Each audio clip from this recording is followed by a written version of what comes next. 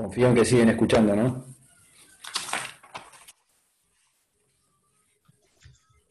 Escucha perfecto, profesor. Sí, profe, se escucha. Bueno. Eh, lo último que vimos, ah, por lo menos que tengo eh, anotado, habíamos visto con el doctor Riquet, eh, Bartolistas puros, las emergencias, los antecedentes históricos de Arriola, los discursos de emergencia. Ajá. Eso fue lo último que hemos visto. Por lo menos eso es lo que tengo. Está bien, está bien. Bueno, la idea de hoy que habíamos hablado con los otros profesores era, saben que las clases básicamente las tienen subidas en el canal y además los encuentros con nosotros fundamentalmente están destinados a evacuar consultas, inquietudes, dudas, etcétera. Pero para eso necesitaríamos que eh, hubieran leído y seguramente eso va a darse eh, con cercanía a la fecha del examen.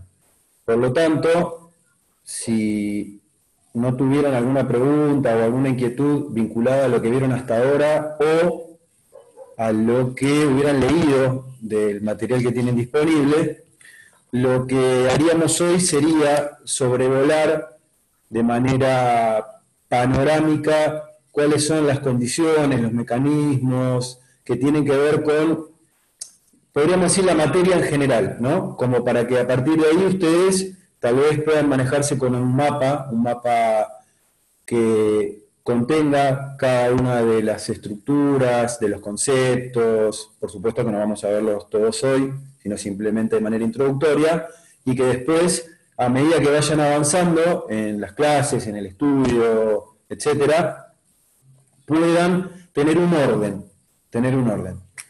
Em,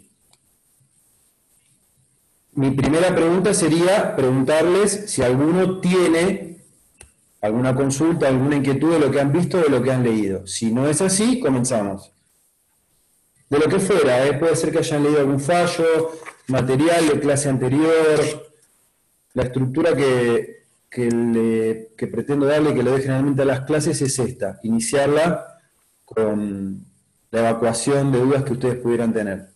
Como les decía, tal vez están empezando y todavía no llegaron esas inquietudes, eh, serán más adelante. Si no hay ninguna, entonces lo que hacemos, vamos a hacer es lo que les proponía. Nosotros empezamos trabajando con una materia que es derecho penal.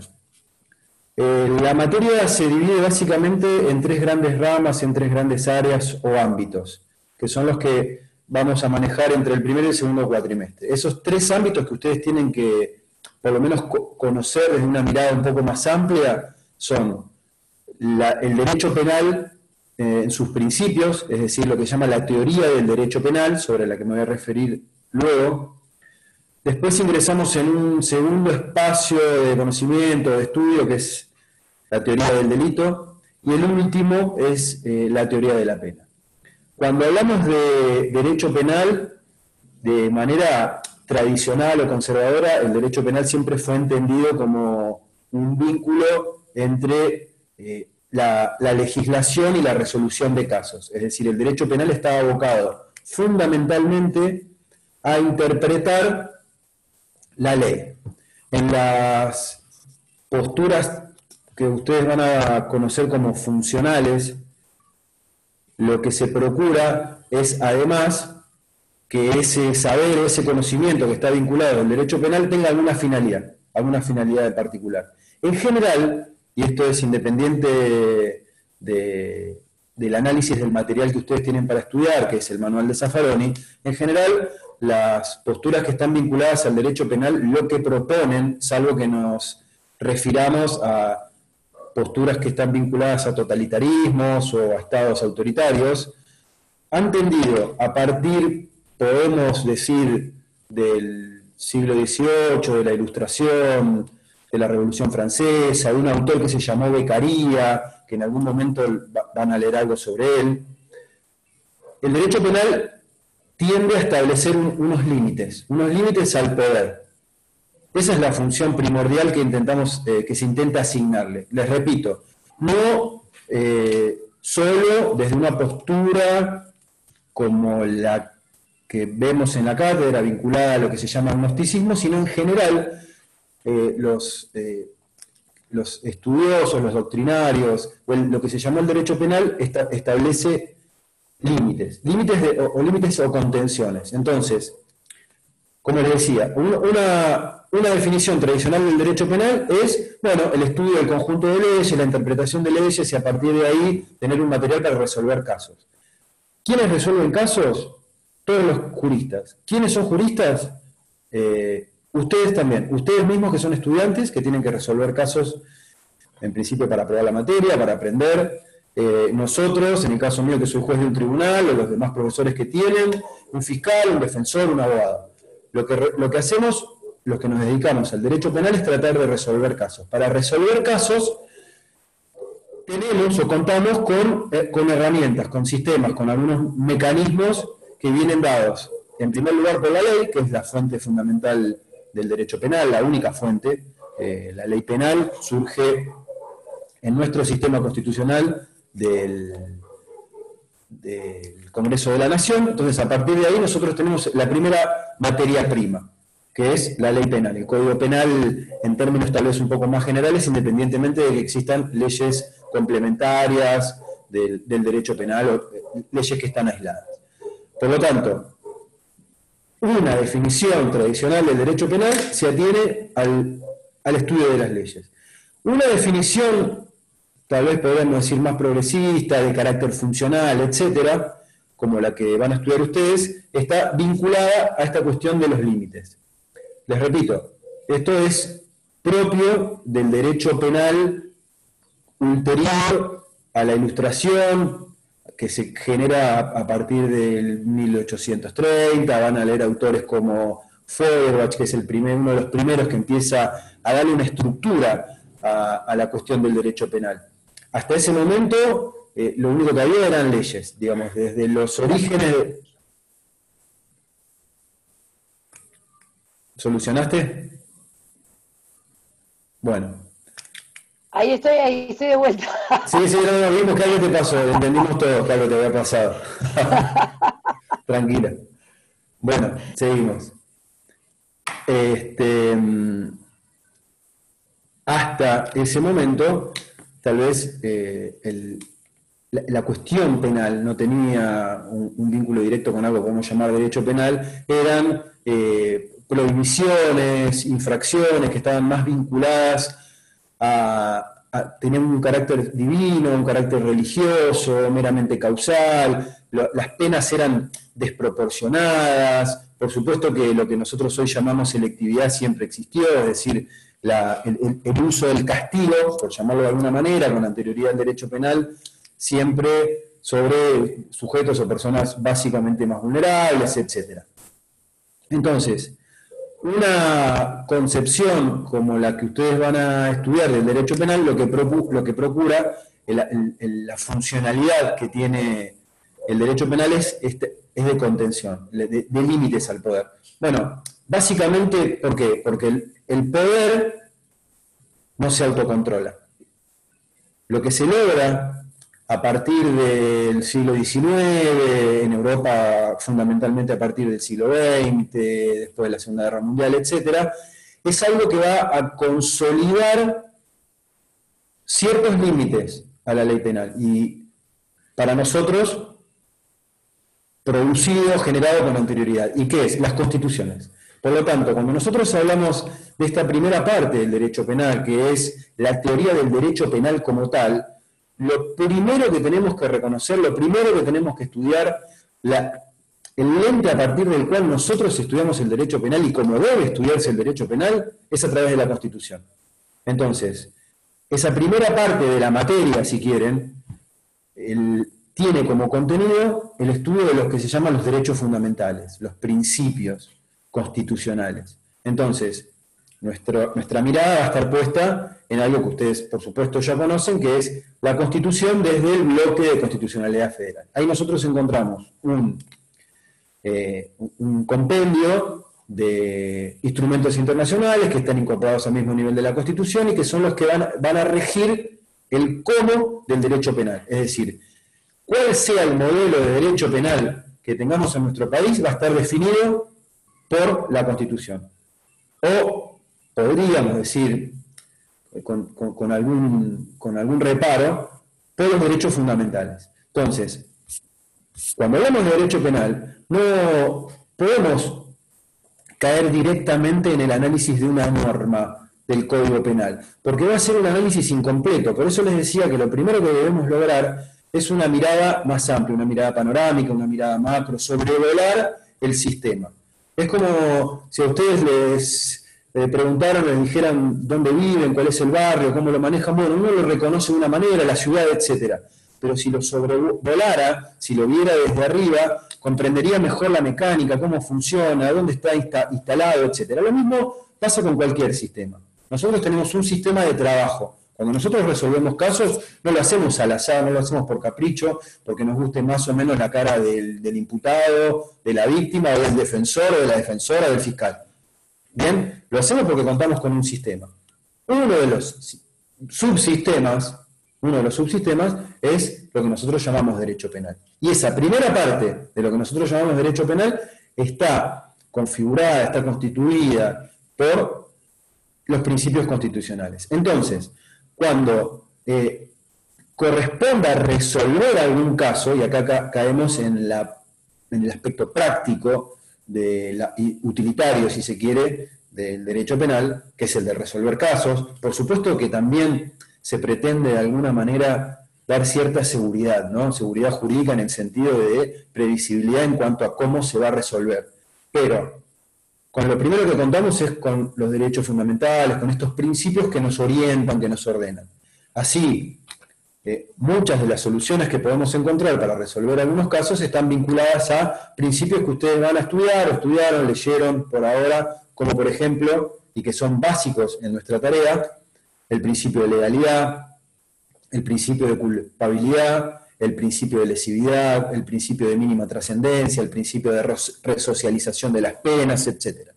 Si coinciden medianamente con esto que estamos viendo, bueno, verán que ya estamos ingresando en aspectos que son propios del derecho penal y si reconocemos cuál es el contenido de estos principios, ya tenemos una estructura o un modelo, un modelo de este sistema con el que pretendemos trabajar. Cuando hablamos, no voy a ingresar, como les decía, al tratamiento en profundidad de cada una de estas cuestiones, sino simplemente, como les decía, ordenarnos. Nos ordenamos con esta primera parte y decimos, dentro de estos principios que tienen que ver con el derecho penal, bueno, uno de ellos es el principio de legalidad. Perfecto. Bueno, ¿qué tenemos que saber del principio de legalidad?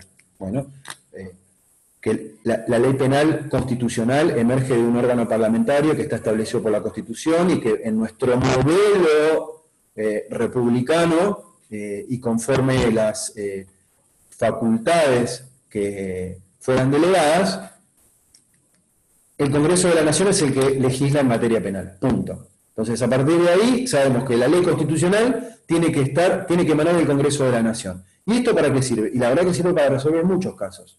Porque en diversas oportunidades podemos encontrarnos con leyes que contengan algún tipo de sanción, algún tipo de castigo, que se parezca mucho a una ley penal, pero que no esté sancionada por el Congreso de la Nación. Y acá, en esta primera parte, sin que se torne en una herramienta que sea aceptada de manera generalizada, pero el mecanismo que va a resultar útil para atacar los casos que debamos resolver en función de los principios va a ser seguramente la inconstitucionalidad. Entonces, cuando hablamos de, por ejemplo, legalidad y que exige una ley que esté dictada por el Congreso de la Nación, una ley que contenga también el principio de lesividad, ¿esto qué significa? Que la ley penal solamente se justifica en tanto, en tanto, intervenga y sea sancionada en este proceso de, que ustedes también van a leer, voy a tratar de referirme a, mecanismos, institutos y terminología que, que sea aplicable, que sea materia de estudio y que sea materia de examen también, algo que nosotros, o que se denomina o que se conoce como criminalización primaria. Bien, la criminalización primaria es este proceso de sanción este proceso de sanción a partir del cual el Congreso de la Nación crea ley penal y esa ley penal tiene que cumplir con el principio de legalidad. ¿Por qué le decía que se vincula con el principio de lesividad? Bueno, pues bien, el derecho tiene una característica particular, una característica distintiva.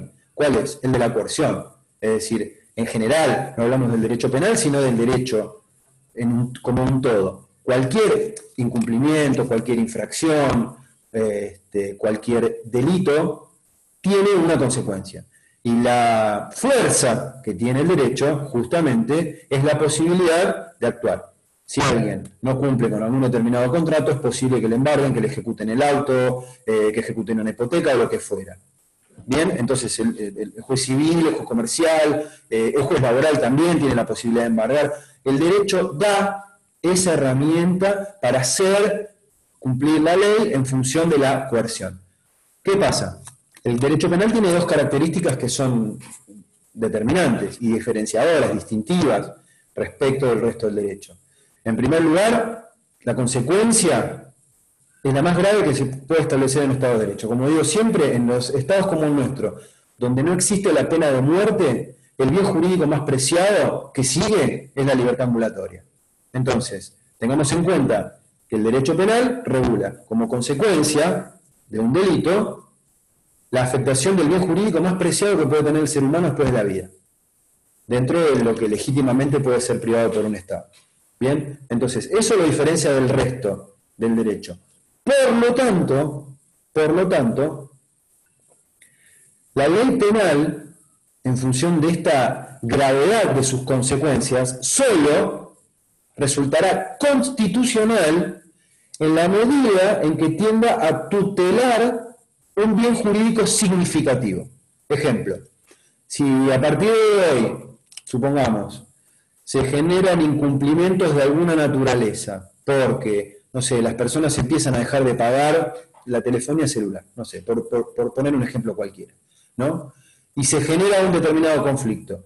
El recurso a que eso se convierta en un, en un delito para que quien no pague su cuenta de telefonía celular vaya a la cárcel, en función de una ley penal, seguramente va a generar una declaración de inconstitucionalidad. ¿Por qué?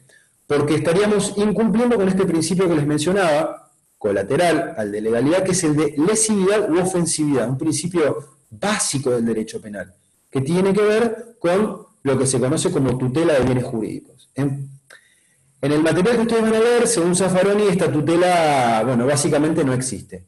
¿Bien? Eh, o sea, o se desconoce, o en realidad no se cumple. Es decir, el derecho penal se sostiene en general que protege. ¿Protege por qué? Porque amenaza con una pena. Esa amenaza de pena debería eh, intimidar a la sociedad para que no cometiera delitos. Bueno, esto, según lo que sostiene Zaffaroni, y, podemos eh, suscribirlo, no estaría comprobado, no se daría así en la realidad. Por lo tanto, lo que, eh, lo que cumple el principio de lesividad, y esto es muy importante, es con lo que les decía al principio estableciendo límites. Entonces, si ustedes conectan lo que estamos hablando, el principio de lesividad lo que hace es limitar la legislación penal, limitar esa tarea de criminalización primaria. Fíjense que a más criminalización primaria, menos ámbitos de libertad tenemos. Y por supuesto que en algún punto coincide con lo que mencionabas vos, Andrea, recién, en cuanto a lo que creo que les debe haber explicado Ricker, el derecho penal de emergencia, ¿no? O, lo que se conoce también como derecho penal simbólico. Eh, esto no pasa en Argentina, ¿eh? pasa en general. El, derecho penal aparece como una solución. Bien, cuando se, genera algún conflicto o lo que fuera, la primera medida a la que se acude, porque tiene repercusiones sociales, mediáticas, medianamente exitosas y porque aparentara, aparenta algún tipo de, respuesta, es, bueno, vamos al derecho penal. La gente no paga su telefonía celular, listo, lo convertimos en delito, así todos van a pagar. Y lo cierto es que ese efecto intimidatorio o efecto de, coacción no se comprueba en la realidad. Y lo más probable es que sigan sin pagar su telefonía celular. Lo mismo que sucede en general cuando hablamos de expandir el derecho penal, crear más tipos penales, aumentar las penas, etc. Esto tiene una comprobación sociológica clara eh, que inclusive, inclusive se puede ver de, manera intuitiva en general respecto de cuál es el efecto que tiene la ley penal. Bien, entonces, esta, esta primera parte, este primer espacio, este primer ámbito que está vinculado con los con la teoría de... Sí. Tengo una pregunta sobre eso. El tema de estas emergencias, ¿sí? De, de, este, de estas eh, pseudo pedidos o pedidos en sí de la sociedad respecto a penas mayores y demás. No se establece solamente en una sociedad moderna, es decir, cuanto mayor eh, coerción o mejor dicho, mayor poder punitivo hubo, igual hubo resistencia por parte de la sociedad, a eso me refiero, sin importar la época. Eh, a ver, resistencia a qué te referís? A ver si entiendo. Resistencia desde, el punto de vista de que sí hay una coerción por parte del Estado, haya sido un Estado soberano como era el rey o el poder feudal y demás, siempre hubo resistencia por parte de la sociedad. Es decir, que aumentemos las penas no significa que se resuelva en sí eh, el delito. ¿Es así? Así lo interpreto. Sí, sí, es, es correcto y además eh, eso está estudiado, ¿no? Digamos, no, no está, no está eh, vinculado a una respuesta caprichosa, subjetiva o arbitraria, sino que hay estudios que certifican que los aumentos de pena y los aumentos de tipos penales no han reducido de ninguna manera el delito. Es más, las, estadísticas, que uno conoce eh, también, lo, también lo comprueban, sin perjuicio y que en esto quiero ser claro, que las estadísticas tampoco son una, una, eh, una pauta certera. ¿Y por qué les digo esto? Porque nosotros en el delito nos manejamos con un, con un desconocimiento absoluto de lo que se llama cifra negra del delito. La cifra negra del delito eh, tiene un espectro en proyección amplísimo que reconfiguraría todos los números que tenemos del delito. Hay cantidad de delitos que son gravísimos, pero que terminan siendo normalizados en determinados eh, aspectos, como por ejemplo el robo de un celular en la parada de un colectivo con una pistola, es un delito gravísimo, gravísimo, con una pena altísima. Pero eh, de, cada 100 eh, delitos de esa naturaleza que se cometen, se denuncian 5.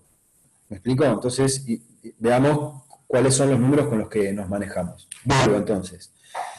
Entonces, esta primera cuestión de la teoría del derecho penal manejada por principios como el de legalidad, que lo entendemos además en, cuatro fases que van a ver más adelante, una ley cierta, previa, prohibición de retroactividad de la ley penal, ultraactividad de la ley penal más benigna, son todos instrumentos que ustedes van a tener que estudiar cuando toquen cada uno de estos temas, pero cuando ustedes digan, y de la ley, por ejemplo, como pregunta de examen, ¿bien?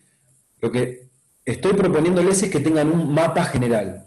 Un mapa general que les va a permitir decir, y de la ley, bien, cierro los ojos y digo, principio de legalidad, principio de legalidad, teoría del derecho penal, acá es donde estoy ubicado, en esta primera parte del, derecho penal en general, de la, materia, si quieren, y ahí es donde tengo que enfocarme. ¿Por qué? Porque es una derivación del principio de legalidad. Y fíjense que si ustedes logran, logran una ubicación en este sobrevolar la materia a modo de un GPS que los oriente, ya están, yo no, quiero ilusionarlos, pero me animo a decirlos que tienen un porcentaje de la respuesta ganado ya, para poder contestarla correctamente.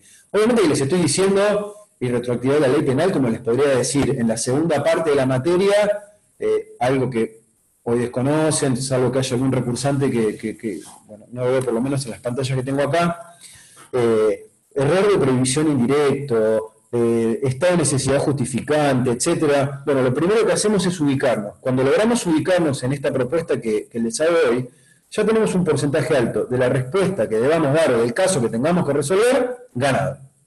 Bien, entonces, como les decía, principio de legalidad, principio de lesividad es lo que estamos hablando, es que el derecho penal se encargue en función de esta consecuencia tan grave que genera en un Estado de Derecho. Bueno, si vamos a, echar mano del derecho penal en esta cuestión del derecho penal de emergencia, simbólico, como respuesta, como solución, que no es cierta, este, por lo menos que sea respecto de afectaciones a bienes jurídicos que lo justifiquen, a bienes jurídicos que sean de importancia. Si la gente ahora deja de pagar el alquiler, y bueno, eh, no podríamos aceptar desde nuestro rol de estudiosos del derecho penal que eso se convirtiera en un delito. ¿Por qué? Bueno, porque entre, la función, entre el principio de legalidad y el principio de lesividad tendríamos que decir que eso es inconstitucional. ¿Se entiende lo que quiero decir? Entonces, esto es lo que logramos con esta primera parte del, derecho penal, que es la teoría del derecho penal. Ni hablar, ni hablar eh, una de las otras características distintivas que tiene el derecho penal, que es el principio de culpabilidad, donde, por llamarlo de alguna manera, eh, no existe lo que se llama, lo que se conoce como responsabilidad objetiva. El principio de culpabilidad hace que se pueda imputar un delito única y exclusivamente si hubo, si se dio alguna de las dos formas posibles de subjetivas en relación al delito, que son el dolo o la culpa, o algunas combinaciones de esta que más adelante verán, y que además esa persona haya podido comprender lo que se llama la criminalidad del acto o que lo que estaba haciendo estaba prohibido. Si estas dos cuestiones de carácter subjetivo dentro de la teoría del delito no se comprueban, entonces lo que nosotros decimos es, bueno, es cierto, no comprensión. ¿No comprensión por qué? Porque hubo un error de prohibición invencible, supongamos.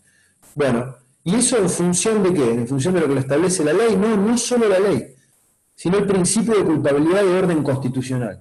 Y por eso es que esta primera parte, relacionada con la teoría del derecho penal, es determinante para comprender los, los sistemas que siguen. Como les dije al principio, nosotros contamos con unos mecanismos, una, herramienta eh, eh, general que es la del derecho penal.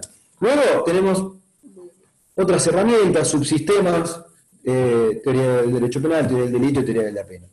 Esta primera fase, en función de estos breves principios que, les estoy refiriendo, se darán cuenta que es determinante. Ni hablar cuando eh, tengamos que evaluar, por ejemplo, la imposición de una pena en concreto, en un caso en concreto, respecto a una persona en concreto. Bien, porque también vamos a evaluar, no vamos a decir, bueno, ¿qué pena le corresponde? Fíjense que cada una de estas cuestiones en las que estamos hablando podemos vincularlas siempre a un caso. Cuando hablamos de la pena, no vamos a decir, bueno, estos son tantos años, hay mínimos, máximos, atenuantes, agravantes, bueno, la pena es esta. No podemos desvincular la imposición de la pena del principio de resocialización o reinserción. ¿Ok? Bueno, eso es un principio que está eh, instaurado también desde el esquema del bloque de constitucionalidad federal o desde la propia constitución. La ley penal no puede, no puede desconocer ese aspecto clave en relación a la pena. Pero ojo, porque cuando nos referimos a, estos principios, también tenemos que darles eh, una, una ubicación en el proceso específico. ¿A qué me refiero? El proceso de la ley se da desde la criminalización primaria. Entonces, cuando hablamos de resocialización, le estamos hablando al juez en el momento en que tiene que imponer una pena, o también estamos hablando al legislador cuando tiene que establecer una escala penal, una pena en abstracto. Por supuesto que también al legislador. Entonces, cuando eh, aparecen situaciones X, hoy en Argentina, eh, con las que contamos en, en, variedad y, en cantidad, y un legislador dice, bueno, aumentemos las penas. ¿Las penas de cuánto era? Bueno, de uno, tenía de un mes a seis años, bueno, que sea de, de dos años a diez. Listo, diez años. Bueno, estamos, pensamos en un legislador razonable, medianamente eh, capacitado, competente, idóneo, se hará una evaluación vinculada a 10 años justifican o están vinculados con la resocialización o con el principio constitucional de resocialización para alguien en función de, fíjense cómo volvemos constantemente, ¿no? Del bien jurídico que estamos intentando tutelar.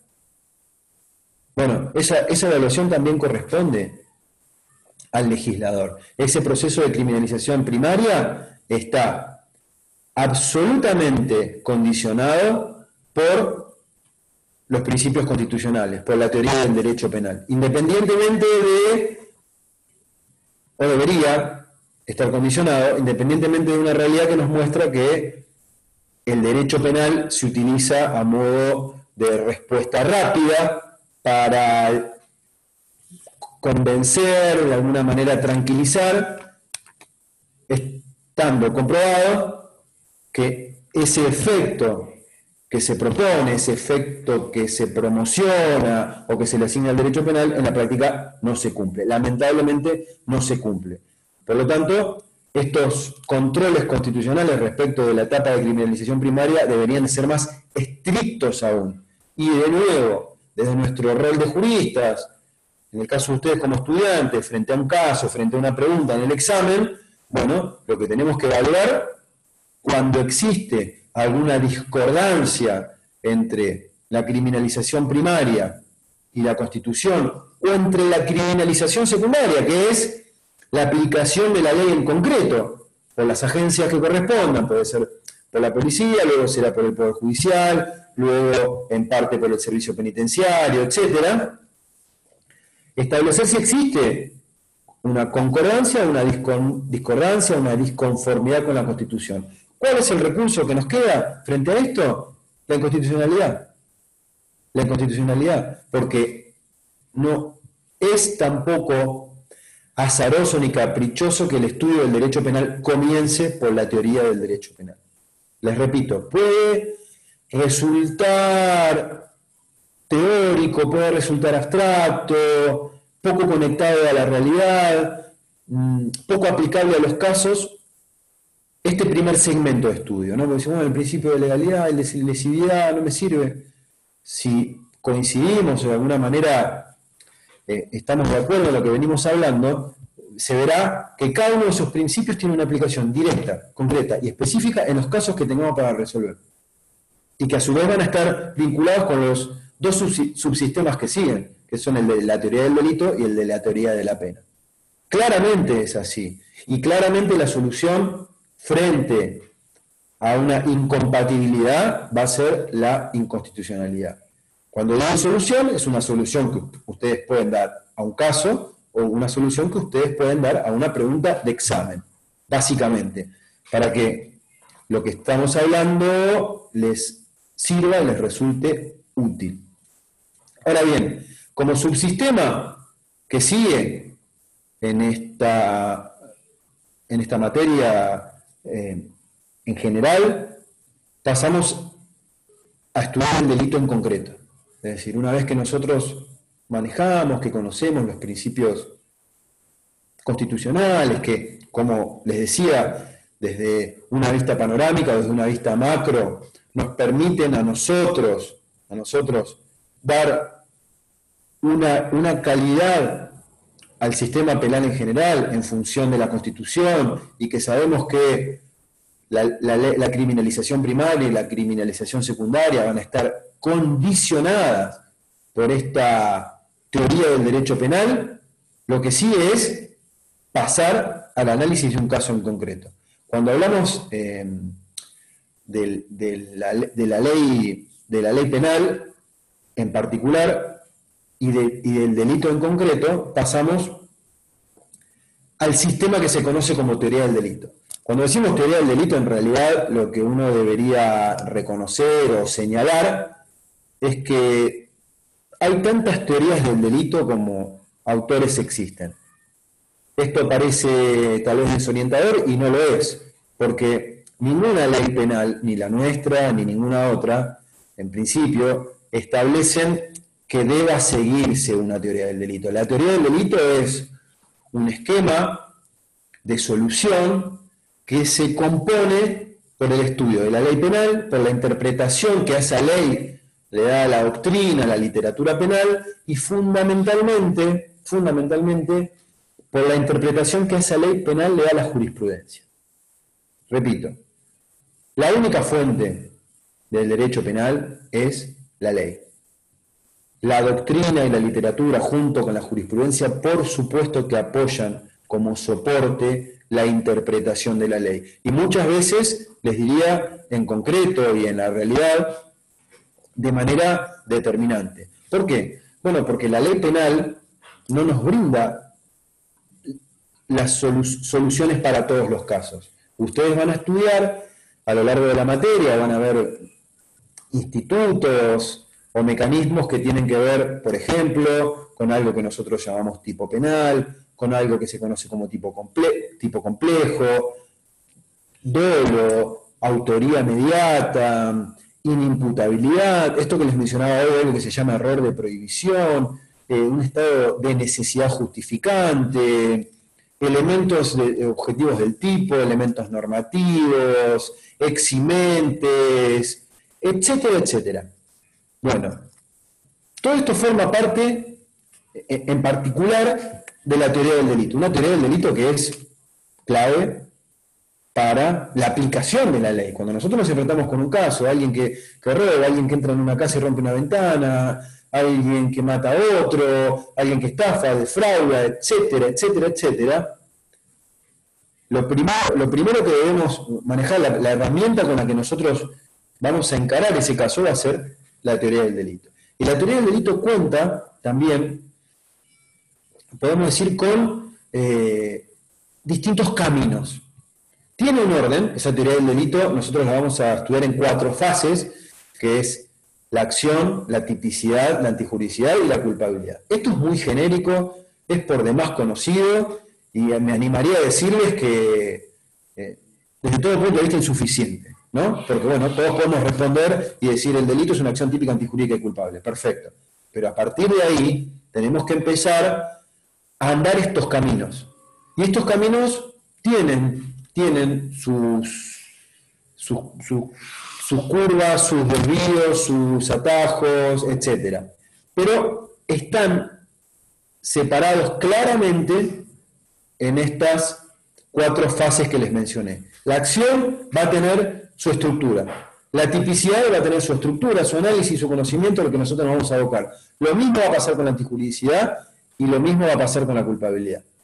Cada uno de ellos es un avance en este sistema que nosotros utilizamos, les repito, es una herramienta. ¿no? Aplicamos la herramienta de teoría del delito para resolver un caso. La herramienta tiene un orden sistemático. Ese orden sistemático es acción tipicidad y jurisdicción culpabilidad. Cada uno de esos eh, segmentos, esos espacios de, estudio y análisis, nos va a permitir a nosotros trabajar eh, de manera ordenada para resolver un caso. Entonces,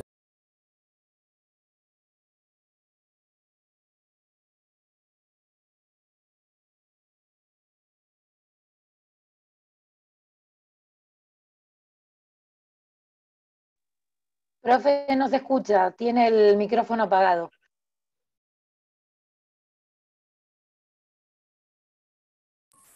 Bueno, ahí estamos, ¿no? Sí, ahí se escucha. Bien, bueno, gracias. Eh, sí. Les decía, de nuevo, con teoría del delito, sobrevolamos, tenemos este mapa que nos sirve a nosotros, eh, vamos a, ponernos de acuerdo en que nos sirve para aprobar el examen, ¿no? que es lo, importante por ahora.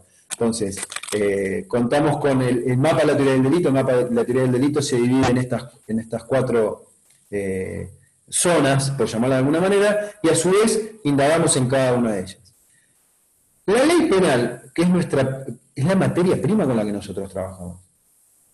Es decir, nosotros eh, empezamos a hablar de derecho penal cuando tenemos una ley penal. Y después habrá que desarticularla, analizarla, criticarla, cuestionarla, avalarla o lo que fuera, desde los principios a los que me referí sintéticamente antes, y no desde la teoría del delito. Pero los mecanismos y las herramientas que nosotros utilizamos para esto no están dadas por la ley penal. Insisto, conceptos como dolo, autoría inmediata, autoría en aparatos organizados de poder, error de prohibición indirecto, que invencible, que tal y otra cosa. vamos a ver el código, no lo vamos a encontrar. Es más, vamos a ver el código, les voy a dar un ejemplo para que, para que se entienda esto que significa teoría del delito. Vamos a ver el código y no vamos a encontrar la palabra dolo. Y uno, como alumno de Derecho Penal, va a decir, ¿cómo que no está la palabra dolo si a mí los profesores me vuelven loco para que les explique qué quiere decir el dolo y cuál es la diferencia entre el dolo y la culpa y me, dan un caso atrás de otro para que lo resuelva y en el Código Penal no está la palabra dolo, ni bueno, no, no está. Entonces, eh, esto que sirve para entender que la teoría del delito viene dada por una creación de la doctrina y de la jurisprudencia, que a lo largo del tiempo ha ido mutando. ¿Bien? no, voy a entrar en, temas de teoría del delito, pero aparecen los primeros esquemas justamente con, con Feuerbach, fundamentalmente con un autor que se llama von List en 1883, y después algunos otros autores determinantes que van a, van a estudiar, que fueron generando algún cambio y que fueron dando un orden. Les decía, ¿teoría del delito o teorías del delito? Teorías del delito.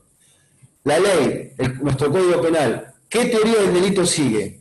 Ninguna porque es un código penal y porque ningún código penal nos obliga a establecer una teoría del delito. Es más, nosotros podríamos resolver casos con la ley sin alusión a teoría del delito alguno. Es decir, en el caso mío, yo en la mayoría de las sentencias no tengo ni necesidad de, hacer citas o de explicar cuál es la teoría del delito que sigo o qué autores sigo, porque se entiende que la forma de resolver y cuáles son las palabras que se utilizan en el mecanismo están asociadas a una teoría del delito en particular. Si ustedes me preguntaran, bueno, ¿cuál es la teoría del delito más extendida? Es decir, ¿cómo es la forma que se utiliza para, la forma más usada para construir casas en Mar del Plata? Bueno, lo que más se utiliza es este, este sistema, porque este sistema sirve por tal y tal, entonces, bueno, la mayoría usa este. Bien, los juristas, en términos generales, ¿a, a qué teoría del delito recurren? Y bueno, podremos decir yo les diría sin dudas a la que se conoce como teoría finalista o al llamado finalismo. Si bien cada finalismo, según cada autor, tiene algún retoque, algún matiz, algún estilo en particular, bueno, podemos decir que es la teoría del delito más extendida. Inclusive en Zaffaroni, que es lo que ustedes van a estudiar, estamos hablando de un finalismo. Un finalismo que tiene eh, una eh, eh, una funcionalidad, ¿no? que es esta que les decía al principio, de, tratar de, reducir un, poder punitivo que, se desborda, que no se autocontrola, que, merece eh, límites. Entonces, ese finalismo que ustedes van a ver estructura la teoría del delito de manera tal que la acción tenga un contenido, la tipicidad otro, la antijuricidad, la culpabilidad y tal, que lo van a ver cuando bueno, ingresen, ingresemos en, en la teoría del delito en particular. Por lo tanto, acá lo que eh, observamos es este segundo espacio, este segundo nivel que nos toca conocer respecto del eh, estudio del derecho penal.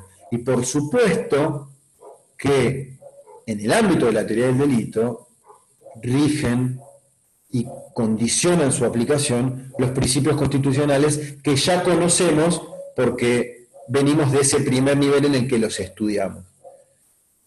Por ende, y por ejemplo, en el ámbito de la teoría del delito, podemos hablar de una tipicidad formal en relación al hurto de un alfajor de un supermercado, porque encuadra en términos estrictos, en términos de legalidad, en el delito de hurto, bien, por eso decimos una teoría del delito nos permite realizar esta tarea de subsunción, le llamamos, pero va a aparecer de nuevo este principio del que hablábamos antes, ¿no? el principio de lesividad. Fíjense que nosotros lo conectamos con la criminalización primaria. Es decir, bueno, se justifica una ley que tenga tanta pena para esto, se justifica una ley que proteja un bien jurídico que puede ser protegido por otros ámbitos del derecho.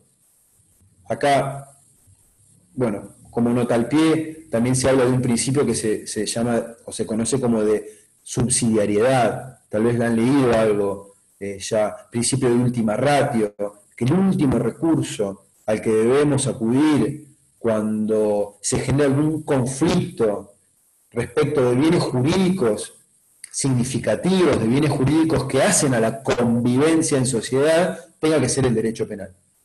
Si existe la posibilidad de soluciones previas al derecho penal, entonces el derecho penal no es última ratio, el derecho penal por lo tanto es inconstitucional. Bien, eso lo hablábamos de la criminalización primaria. ¿Qué sucede cuando se produce eh, este hurto de un alfajor en un supermercado? podríamos ser hasta más eh, extremos aún, el, hurto de, dos caramelos o de un caramelo de un supermercado. Bueno, ¿cómo se soluciona la teoría del delito eh, en términos estrictos? Bueno, si nos quedamos con una teoría del delito estricta, de carácter formal, tradicional, que solo cumpla, cumpla con la tarea de subsunción, y no, nos quedaría otra que imputar el delito de hurto. ¿Bien? Ahora, si nos posicionamos desde donde debemos posicionarnos, que es desde la Constitución y controlar la aplicación de la ley penal, primero en la criminalización primaria, ahora en la criminalización secundaria, cuando corresponde aplicar esa ley, y generamos una suerte de control constitucional, bueno, y si algo conocemos al respecto, porque hemos estudiado, podemos decir que el principio de lesividad no nos permitiría calificar esa conducta como delito. Veremos luego si es en la tipicidad o como algunos otros autores lo hacen en la antijuricidad, por el momento no, es eh, eh, determinante esa distinción. Pero el principio de lesividad nos va a decir, bueno, ¿hay un bien jurídico afectado en este caso en particular que justifique la imposición de una pena? Bueno, la, la respuesta va a ser no. Y la solución a la teoría del delito, fíjense que la vamos a tener de nuevo desde una visión constitucional. Entonces, lo mismo pasaría, pasa en el ámbito de la acción. Yo les decía que el, el esquema de la teoría del delito cuenta con cuatro fases que están bien definidas. Bien definidas de manera sistemática, de manera, les diría, cronológica, en el sentido de que ese es el orden que llevan, de manera que también cuando nosotros eh, afirmamos alguna de esas categorías, ya en la categoría que sigue no podemos corregir lo que hemos resuelto en la etapa previa, es decir, si nosotros decimos que hay una acción que es típica porque una persona realizó conducta, porque no hubo ninguna causa de exclusión y porque esa figura encuadra en un tipo penal de manera objetiva y subjetiva, bueno. Profesor, quería hacerle una pregunta, disculpe que lo haya interrumpido. No, ningún problema, interrumpan cuando quieran, no pasa nada, mejor. Quería saber eh, cómo se seleccionan los casos, cómo se seleccionan los casos por las agencias ejecutivas. Bueno, es una pregunta eh, ya tiene un tinte más sociológico, ¿no? En principio, está, claro lo que les decía. Contamos, en primer lugar, con una cifra negra, una cifra negra desconocida, pero que se estima que es de, un, porcentaje muy alto. Por lo tanto, cuando vos me decís cómo se seleccionan, lo, primero que, deberíamos tener, como corresponde a cualquier saber o a cualquier ciencia, hablo de la medicina, de la ingeniería, de la biología, lo mismo debería ser para nosotros, lo primero que tendríamos que tener es un diagnóstico. Inexorablemente tenemos que tener un diagnóstico, es decir, qué, delitos suceden, cuáles son, en qué porcentaje, etcétera, quiénes son las víctimas y tal. Bueno, eh, ese diagnóstico para nosotros es absolutamente incompleto por la cifra negra. Pasamos a la cifra, eh, a la cifra conocida o a la cifra en blanco. De la cifra en blanco, vos tenés eh, en el ámbito del derecho penal el, más alto porcentaje de, las causas de, por delitos graves están generadas o ingresan al sistema por la agencia, vamos a llamar la agencia, ¿no? Pero por la misma policía. Eh, ese es, un, ese es un, primer ámbito. Después, eh, otro tipo de... los delitos que tienen que ver con eh, la vida pública, generalmente que atacan a la propiedad, por supuesto que atacan a la persona también, hurto, robo, daños, etcétera, están vinculados en un alto porcentaje a la selección policial. Y la selección policial, esto también está estudiado, muy estudiado, eh, opera, y esto no es, ah, eh, hacen esto porque son malos, hacen esto porque culturalmente están condicionados a trabajar con un estereotipo.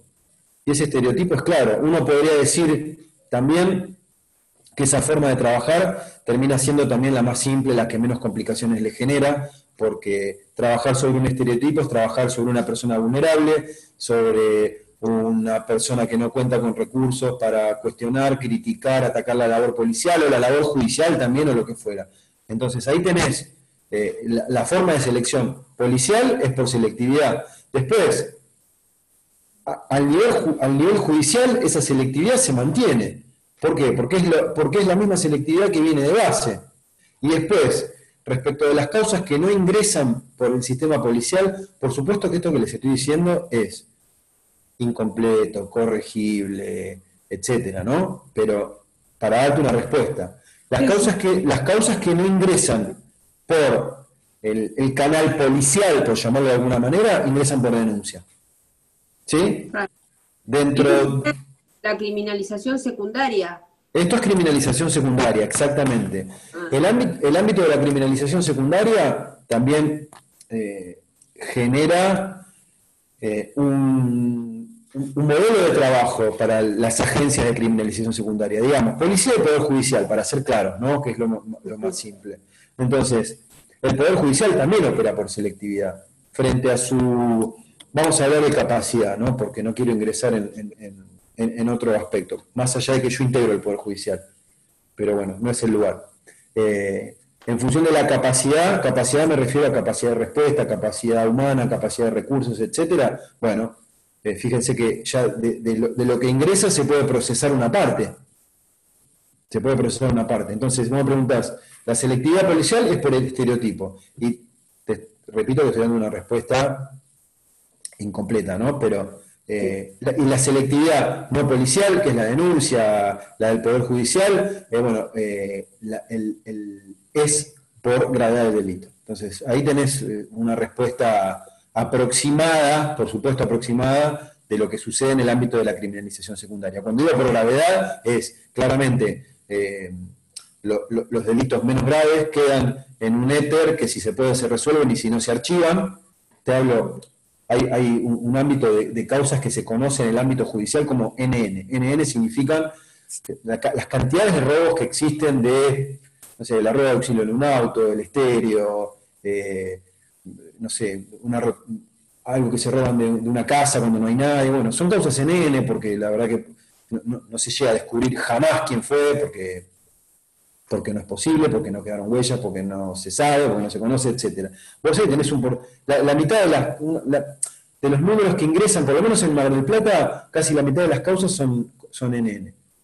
Entonces, ahí tenés, ahí, tenés una cantidad de causas que, en que la selectividad es eh, por gravedad. Si vos tenés una causa NN de un ingreso un domicilio donde golpearon a alguien y, bueno, sobre eso se va a trabajar. Eh, puede, podría no ser así respecto del robo del estéreo de un auto, por ejemplo. Eh, la selectividad existe. La selectividad no existe solo ahora, la selectividad existió históricamente. Históricamente existió con una relación desde los orígenes del castigo, que era más que nada como venganza, etc. Bueno, eh, recaía la venganza sobre el que podía ejercerse una respuesta, eh, no, sobre cualquiera. O sea que la selectividad, eh, la vulnerabilidad, eh, el, castigo, la aplicación de, las penas, después, si se quiere, del derecho penal, siempre recayó sobre vulnerables, vasallos, súbditos, Andrea hablaba del, feudo, etcétera, siempre. Y hay una, hay una, hay una parte que tiene una, una relación con el poder, esto lo van a ver cuando estudien culpabilidad por vulnerabilidad, hay, una, hay un vínculo, una cercanía entre una, determinadas personas que están eh, lejos de ser vulnerables. Y, bueno, en ese caso, eso comprueba lo que, lo que es lo que nosotros llamamos la selectividad. La selectividad es genérica. La vulnerabilidad existe, como les digo, el programa de criminalización primario, es decir, todas las leyes que existen eh, y, todos los delitos que se cometen día a día, de, todo tipo, de todo tipo, eh, jamás podrían ser abarcados por, por el sistema. Bueno, entonces el sistema, de alguna manera, si quieres entenderlo así, se autorregula, se autorregula por pautas y parámetros que no están vinculadas con la ley, sino con su capacidad de respuesta, con eh, sus conveniencias, con las menores dificultades que genera, etcétera. Es así. Bueno, muchas gracias. ¿eh? Bueno, mmm, íbamos por... Eh, bueno, estábamos hablando de la teoría del delito. ¿Bien? Sí. Bueno. Eh, segundo espacio de análisis, teoría del delito, van a, van, a, van a encontrarse con esto que les, les, refería, estos cuatro ámbitos que están absolutamente, absolutamente interconectados porque no podemos estudiar uno sin haber confirmado el anterior, pero cada uno se cierra en sí mismo con su, con su análisis. La acción, la tipicidad, van a, van a ver que la tipicidad también tiene un ámbito, un segmento, un espacio de análisis objetivo, donde vamos a, evaluar si, si, hay una, si, hay, una acción que se corresponde con el tipo penal, si hay un resultado, si hay una relación causal, algo que después se conoce como imputación objetiva, eh, si se dan ciertos elementos que establece el tipo, etc. Y después, fíjense que en el tipo subjetivo ya nos conectamos con, de nuevo con otro principio constitucional que es el de culpabilidad. Y para que la primera parte se confirme, vamos a, eh, los tipos penales van a exigir que haya dolo o culpa o alguna combinación particular. Lo mismo va a pasar en la antijuricidad, con las causas de justificación, y luego en la culpabilidad, con cuestiones vinculadas a la comprensión de la criminalidad, del injusto, de la prohibición y a bueno, cierto ámbito de autodeterminación, espacios de libertad que mayores o menores con los que podemos contar unos u otros. Bien, paso, y lo, último es eh, lo que está vinculado con la, con la respuesta punitiva o con la teoría del delito. ¿no?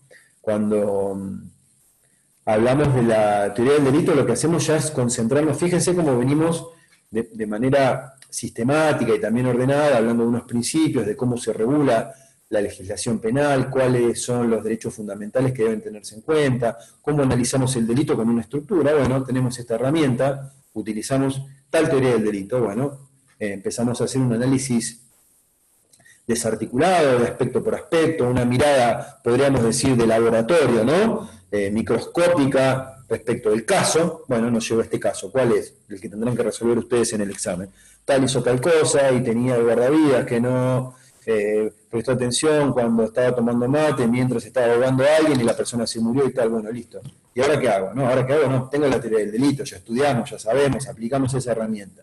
Bien, confirmado el delito, eh, porque logramos superar con éxito cada una de estas estaciones, ¿no? Que, implican un nivel de análisis. Bueno, lo que tenemos que evaluar por último y es como si fuera poco, ¿no? Si corresponde una pena en primer lugar, y en segundo lugar, si, ¿cuál es la medida de esa pena? En función también de lo que prevé la misma ley penal. Ustedes tengan presente algo que es importante también. La ley penal como tal tiene una estructura eh, dual. ¿Bien? La estructura dual, ¿cuál es? Cuenta con algo que se llama supuesto de hecho, y con algo que se llama consecuencia jurídica. Bien, esto puede estar invertido. ¿Por qué? El supuesto de hecho es lo que nosotros llamamos, o que se llama, el, tipo penal. Cuando la ley, la parte en la que la ley dice, el que hiciera tal cosa, eh, rompiendo tal otra, o ingresando de tal manera, o lesionando, etcétera, punto, ese es el supuesto de hecho. Cuando dice la ley, será reprimido con pena o con tal pena de tanto a tanto, esa es la consecuencia jurídica. Porque él les decía que puede estar invertido. Porque muchas veces la ley penal empieza eh, al revés, es decir, será reprimido con tal a tal el que hiciera tal cosa. ¿Me explico? No cambia nada, es lo mismo, da igual, supuesto de hecho, consecuencia jurídica, consecuencia jurídica, supuesto de hecho, esa es la ley penal. Así se estructura. Por supuesto que el principio de legalidad abarca tanto el supuesto de hecho en cuanto a que sea preciso, que sea cierto, que no sea ambiguo, que no le permita al juzgador, bueno, incluir cualquier caso. En esto juegan con el principio de legalidad algunas cuestiones que ustedes también van a estudiar y que son objeto de examen en general, que es con lo que se conocen como eh, la ley penal en blanco, el tipo, los tipos penales abiertos, etcétera, ¿no? Bueno, entonces, tercera fase y última, y les repito, trascendental, porque involucra lo que se conoce como ejecución de la pena. Trabajamos hasta acá para determinar si hubo un delito, si existió ese delito le corresponde una pena, y bueno, el paradigma de la pena en, nuestro ámbito es la prisión.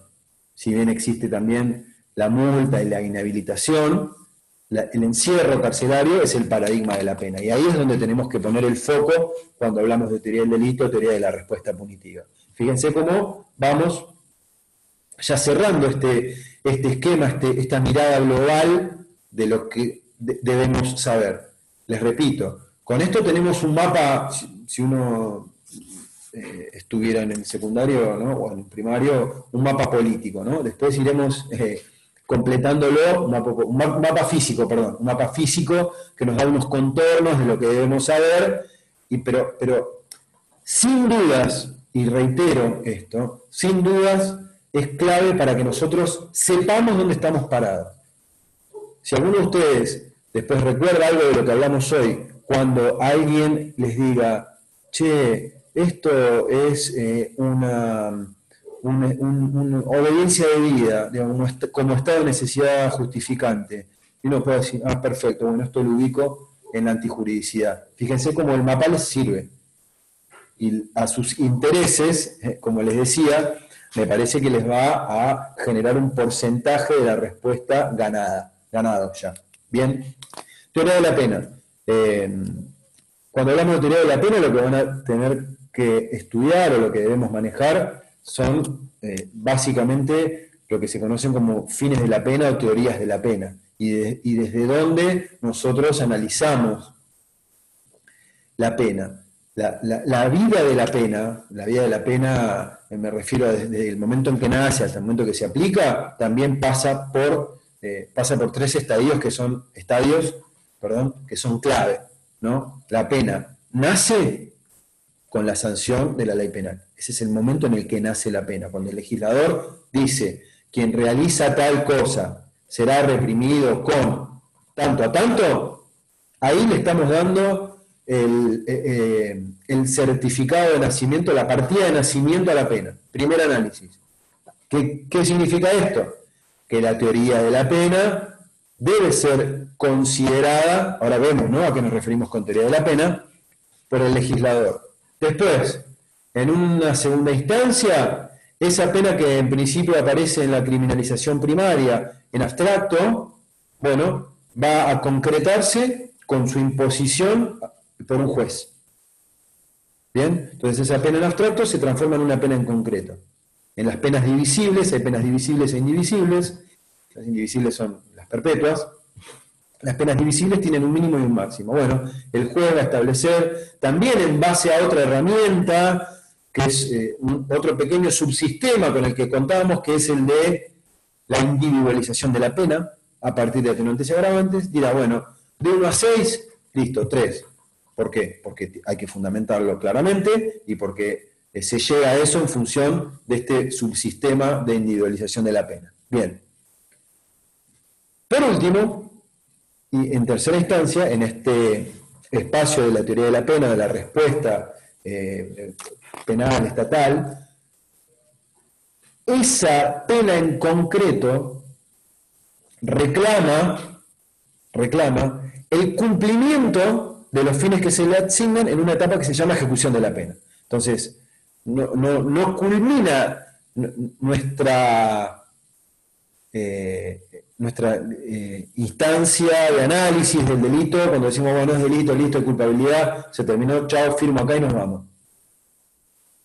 Culmina cuando se cumplen con el paradigma, con los fines que se le asignan a la pena en esa etapa de ejecución. hoy, en la actualidad, en la mayoría de los modelos procesales existe la figura del juez de ejecución. Fíjense eh, la, importancia y la trascendencia que tiene esta tercera fase, este tercer nivel de análisis, que se genera, se crea una figura específica encargada del control, del cumplimiento del fin de la pena en la etapa de ejecución. Entonces, cuando hablamos de la pena y a, los efectos de nuevo de los intereses respecto de lo que ustedes tienen que estudiar, ¿cuál es el interés? Y bueno, que trabajemos con lo que se conoce como teorías de la pena. Hago una indicación meramente introductoria y ya lo verán cuando les toque. Cuando nos referimos a teoría de la pena, nosotros tenemos que hacer el siguiente análisis. Evaluar que existen teorías de la pena de carácter absoluto, evaluar que existen teorías de la pena de carácter relativo, y evaluar en lo que a nosotros corresponde, por supuesto que hay otras opciones, ¿no? Hay posturas dialécticas, integradoras, etc. Pero en términos generales, que existen teorías de la pena de carácter absoluto, teorías de la pena de carácter relativo, y algo que se conoce en función del material al que ustedes tienen que acudir como agnosticismo, la teoría agnóstica de la pena. Entonces, ya acá tienen de nuevo una estructura que les tiene que permitir claramente asentarse en, las respuestas que les correspondan. Digo, cuando hablamos de teorías absolutas, estamos hablando de algo que se conoce como retribución. Las teorías retributivas, hay autores que verán en su momento en particular, Kant, Hegel, etcétera, que son los que establecen eh, el porqué de la pena. Cuando hablamos de teoría de la pena, lo que tenemos que preguntarnos es, ¿para qué? También en términos más coloquiales, si se quiere, ¿para qué alguien eh, ¿Cuál es el fin de enviar a alguien a prisión o de mandar a alguien a prisión? ¿Cuál es el fin de que alguien esté tres años en prisión, dos años, un año y medio, diez, quince o lo que fuera? Bueno, para eso existen entonces estas teorías. Las teorías, las teorías absolutas de carácter retribucionista, es decir, que devuelven de alguna manera el daño que, se ha causado con un criterio proporcional, bueno, van a decir, esta persona va a la cárcel porque cometió tal delito y merece o debe retribuírsele tanto estoy siendo de nuevo eh, incompleto, ¿no? Por, lo introductorio de lo que estoy refiriendo. Después vamos a pasar a las teorías de carácter relativo. Estas ya van a tener, van a tener una mirada en términos de prevención. Es decir, le van a asignar a la pena, a, este encierro, al, al para qué del encierro, un carácter preventivo.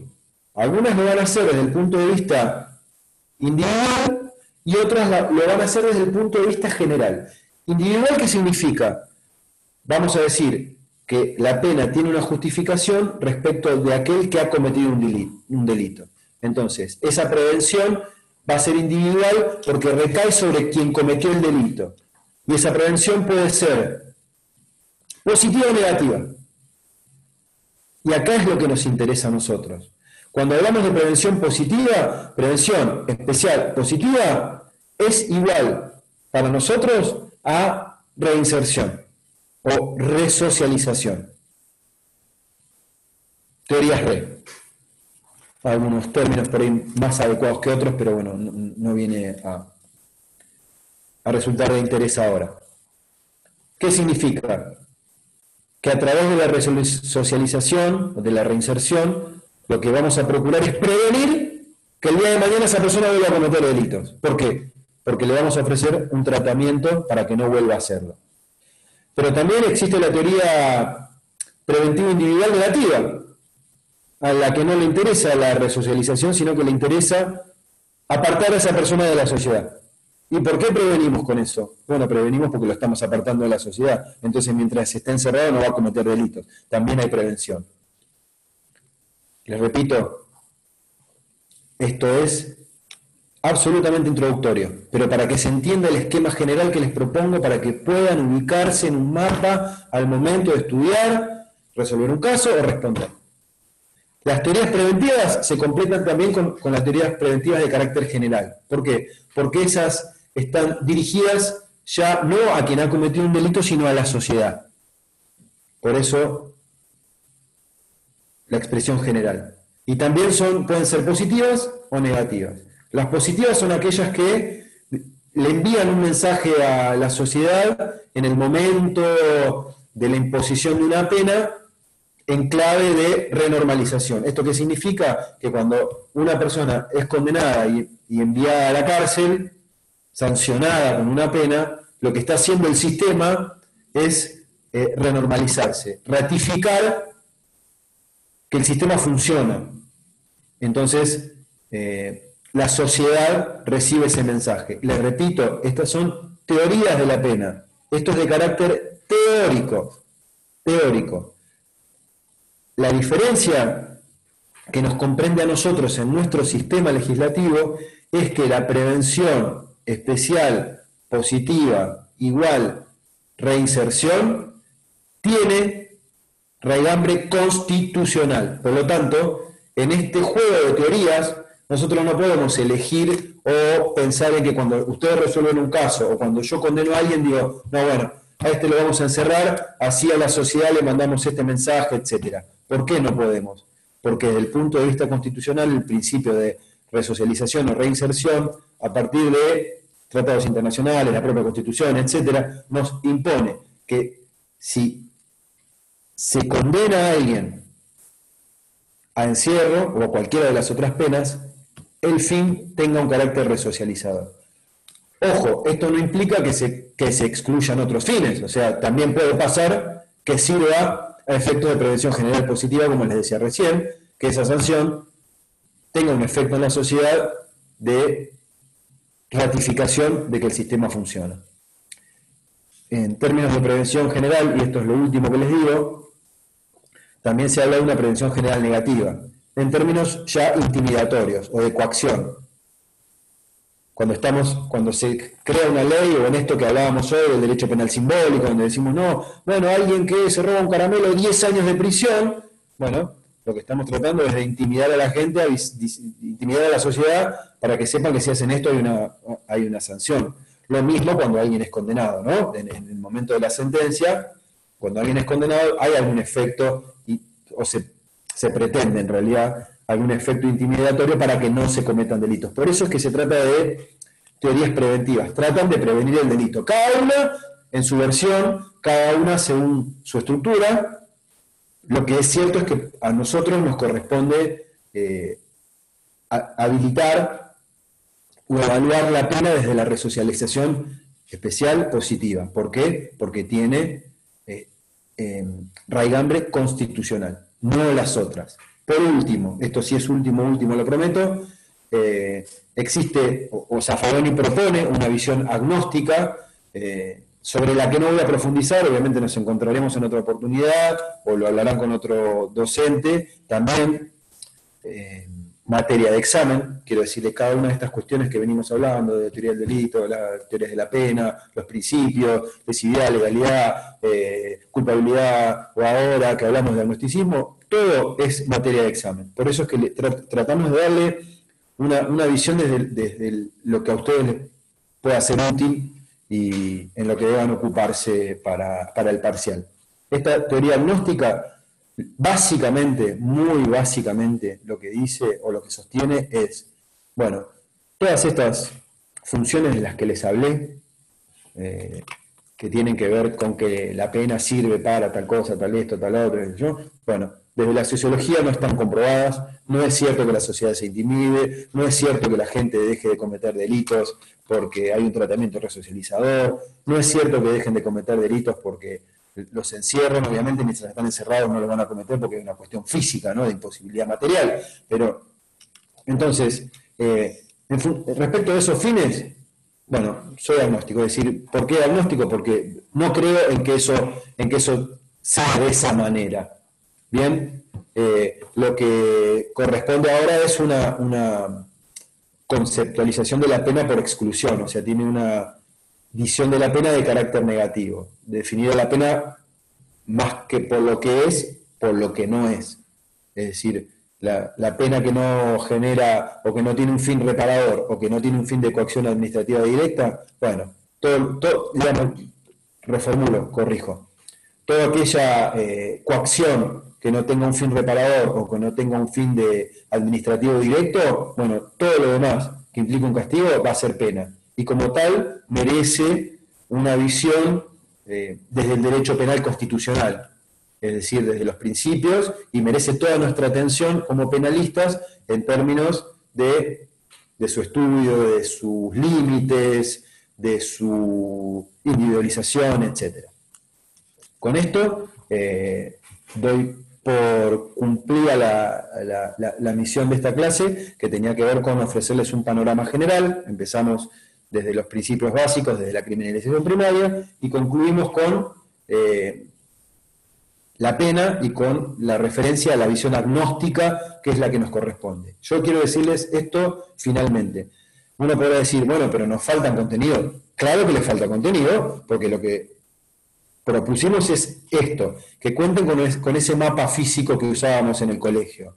Bien, ustedes lo que tienen ahora son títulos, subtítulos, eh, espacios, pero son espacios ordenados, espacios que después van a ir completando a medida que avance la materia, completando a medida que vayan estudiando, y si los completan en el orden que vimos hoy, van a tener perspectivas de éxito eh, eh, respecto de lo que implique resolver un, caso o contestar alguna pregunta. ¿De acuerdo? Si no tienen ninguna pregunta, consulta, inquietud, eh, por mi parte he finalizado. Les deseo un excelente... Sí. Gonzalo, Gonzalo Rodríguez, disculpe no, no, no, yo, pueden interrumpir siempre, ya les lo dije. Y usted a lo largo de la clase había nombrado el, finalismo, una de las teorías, el finalismo. Sí. La pregunta no es particularmente con el finalismo, sino con otras dos teorías que no me habían quedado claras, que una era el neocantismo y la otra era el funcionalismo. Sí. Que no, no sé en, en, qué parte de la materia ubicar, no sé, sería como parte de la teoría del delito. Perfecto, bueno, te voy a decir dónde ubicarlas y después lo verán o lo verán, lo verán conmigo cuando veamos las teorías del delito. Em, voy a tratar de ser breve. Em, cuando, a, tu pregunta, la, respuesta es sí, en la teoría del delito. Vos fíjate que si tenemos esta, esta mirada global, que podemos separarla en tres zonas, bueno, por eso les decía que si esto les sirve, puede ser que les resulte de utilidad. Vos me decís neocantismo, ¿no? Como hacíamos hace un rato. Bueno, yo cierro los ojos, veo mi mapa y digo, ¿dónde va el neocantismo? A ver esto que me están... Neocantismo, perfecto. Va en teorías del delito, sin ninguna duda. Va en teorías del delito. Tu ubicación es correcta. Ahora, ese neocantismo aparece en términos más teóricos de la teoría del delito, eh, en, opciones que tenemos para estudiar la evolución de las teorías del delito, que aparecen, digamos, por primera vez con, esta persona, con este autor este, eh, alemán que se llama von eh, que parte de algo que se llamó causalismo. ¿Bien? El neocantismo lo que hace es, eh, viene a corregir algunas cuestiones vinculadas con el causalismo en virtud de determinados valores. Como no voy a ingresar en eso, el orden que te doy es, Rodrigo, no, Gonzalo, Gonzalo, es causalismo, neocantismo, finalismo, funcionalismo. Si quieren darle un orden, por supuesto que no es perfecto, pero en términos históricos podemos decir que se dio de esa manera. ¿Bien? El, causalismo como primera estructura más o menos ordenada de algo que podemos llamar teoría del delito, eh, el neocantismo que lo corrige a partir de la inclusión de, algunos determinados valores, el causalismo era aséptico, abstracto, básicamente objetivo, etcétera, Después aparece el finalismo, estamos hablando de 1880, el causalismo, el neocantismo, principio del siglo XX, eh, finalismo 1930, 30 y pico, cuando le escribe su obra sobre la acción, y bueno, el funcionalismo ya sobre la década del 70, al funcionalismo teleológico, que va a aparecer con algunos unos autores, dos autores básicamente se llaman Roxini y Jacobs, y les incluyo para que sepan dónde ubicarlo, Zaffaroni también es funcionalista. ¿Bien? ¿Se acuerdan que yo les dije hoy? Es un finalismo con una finalidad. Bueno, podemos decir que es funcionalista. ¿Por qué? Porque él a su derecho penal le asigna una función clara, que es la de limitar el poder punitivo. ¿Está bien, Gonzalo? Sí, sí, bárbaro. Sin, profundizar, ¿no? Por supuesto. Claro, sí, sí. Bueno, de nuevo, les deseo eh, que tengan un buen fin de semana, que descansen, eh, que descansen de estudiar eh, Derecho Penal, porque seguramente estarán todo el día con esto.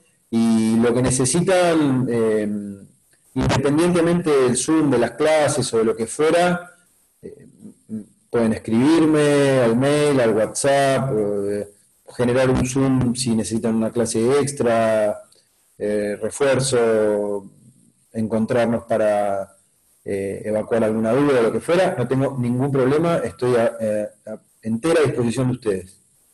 ¿Sí? ¿Puede pasar el mail, profe? El, mail es fácil, gomesurso.gmail.com Si se los escribo en el chat.